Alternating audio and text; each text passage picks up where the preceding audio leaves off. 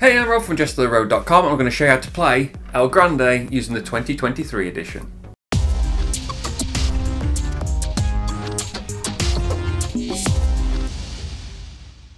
This is a game for 2 to 5 players, plays in about 120 minutes, is designed by Wolfgang Kramer and Richard Ulrich, and this version is published by Hans im Gluck. Players will play cards to gain meeples and decide turn order for the round. They will then draft cards to take actions and place meeples on the board to control areas of Spain, most points after 9 rounds wins. So subscribe for just 2 board game videos a month and check out the description for links to my socials and Patreon. On with the game. So I'll start by covering the rules for 4 and 5 players. I'll then go through the changes for the 3 player game. I'll then go through the additional changes for the 2 player game. And then finally we'll look at the mini expansions included in the 2023 edition of El Grande. So setup for the 4 and 5 player game starts by placing the board on the table on the 4 to 5 player side, shown in the top right of the board. Let's sort out the action cards. The 10 with this symbol on and the 4 with this symbol on are expansions, so put them aside for now. Sort the action cards into 5 stacks based on their card back, they'll show you a number of meeples from 1 to 5. Shuffle them into 5 stacks face down. Stack 5 has just the Your Majesty card. Place the round marker on round 1 of the round track, and place the Castillo on its space in the bottom right of the board. Players pick a player colour and take the 13 power cards, 30 Caballeros, and Grande of their colour as well as one of the secret discs. They put the score marker on 0 points. The 16 smaller cards with the plus and minus numbers on is another expansion so we're going to put those aside for now too. Shuffle the 9 region cards, reveal one and put the king on that space. The region the king is in is called the king's region.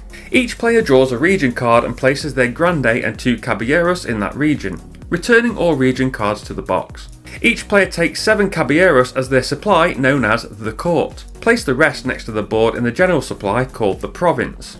Setup is complete. Choose a random start player. The game is played over 9 rounds, each of 5 phases. Phase 1 Reveal action cards. Turn over the top card of each of the 5 decks of action cards. The Your Majesty card in the 5th pile is the only card in that stack. Phase 2 Play power cards. Starting with the start player and going clockwise, players will play one power card from their hand. In this first round of the game, the players will have all 13 cards available to them. Cards played must be a different value from all power cards played so far, so if the first player plays a 7, no players may play their number 7 card. Phase 3 Take turns. This starts with a player that played the highest value power card. First, take a number of caballeros from the province to the court shown in the middle of the power card. Then the player selects one of the face-up actions and will place a number of caballeros shown on the bottom of that card into a region on the board, and play the special action on that card. This could be done in any order. To place caballeros, they go from your court into any number of regions adjacent to the king. You don't have to place them all, but if you don't have enough in your court, you forfeit the ability to play the rest. One key rule in the game is that nothing can go into, out of, or change in the king's region in any way, including scoring tiles. Note that France and Portugal are not regions. Also, any number of caballeros could go into the Castillo, but the player must declare out loud how many are going in. The Castillo does not count as a region for game effects. For the special action, the player may perform it if they want, but if they do, they must be performed in full. For example, Intrigue allows you to move up to two of your own caballeros on the board and two of your opponents, so you must move four meeples or none.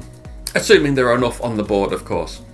When moving, caballeros can never move out of the Castillo, but they can move from anywhere into it. When complete, the player will discard the action card into a discard pile, the Your Majesty card goes back into its space face down. The player that played the next highest value power card will take the next turn.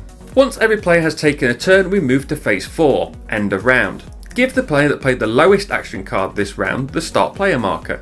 Put the power cards played this round into a face down discard pile. Move the round marker down one space, go back to phase 1. If the round marker lands on a lily, you go to phase 5, general scoring. This is in the third, fourth and at the end of the game after the ninth round and is played over three steps. Step A, players set a region on their secret disc and place it face down. Step B, open the Castillo. Players score for having the most caballeros in the Castillo as shown on the board. So 5 points for first, 3 for second and 1 for third. All tied players score the next lowest points total. For example, if players are tied for second place, they each score the points for third place. Players then move their caballeros that were in the Castillo to the region selected on their secret disc. Score each region in the order shown on the left of the board using the same scoring rules. The Grande itself does not count for the majority, but if you win the region with the King and or your Grande, you get 2 point bonus for each of them in that region. Some action cards allow you to score during play, the King and Grande points are still added. After the first or second general scoring, go back to phase 1 and start a new round. After the ninth round and the third general scoring, the player with the most points wins, tied players share victory. Okay, let's look at the very few changes for the 3 player game. First, place the board on the 2 to 3 player side. All regions and the Castillo only award points for first and second. Secondly, and this is optional, remove the fourth stack of action cards. This will make the game a bit more competitive. And that's all the changes for three players. For two players, you include all those changes for the three player game, except you have to remove the force stack, that is not optional for two players, and there's a few extra changes to make to add a dummy third player. Shuffle an unused set of power cards for the dummy player to use and give them all of their caballeros. After the player and king setup, instead of returning the region cards to the box, shuffle them all for the dummy player to use as well. At the start of round 2, draw 2 region cards and place 2 caballeros in the region for the dummy player. If they're at caballeros or the king's region is drawn, then don't place any. Before players play power cards, reveal a dummy player power card. Players can't play power cards matching the value as normal. When taking actions, the dummy player will always discard the available action card with the most caballeros. They do not take an action or play any caballeros. And if a player's action card will require the dummy player to make a choice, just skip it. The dummy player can never be start player and will never gain points. Okay, let's look at the mini expansions starting with New Regency. Use the 10 cards as stack 5 to replace the Your Majesty card and treat stack 5 like any other stack. These cards have different actions to move the king, including moving them to France or Portugal and even allowing a player to add caballeros into the king's region. The next mini expansion is the 4 alternative action cards you add after you've played a few games.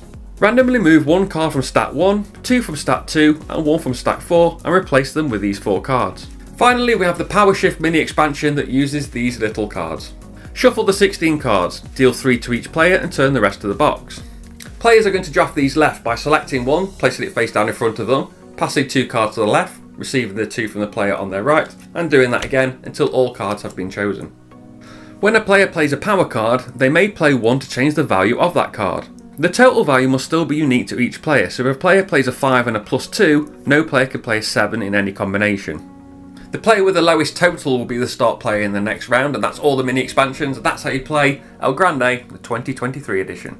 Thanks for watching. Remember to like, share and subscribe and hit the notification bell so you know when a new video goes live. You can follow me on Insta, Twitch and YouTube at JestaThaRogue. You can find the Patreon at patreon.com forward slash JestaThaRogue. Find the blog at jestatharogue.com. I've been Rob aka JestaThaRogue. I'll see you soon.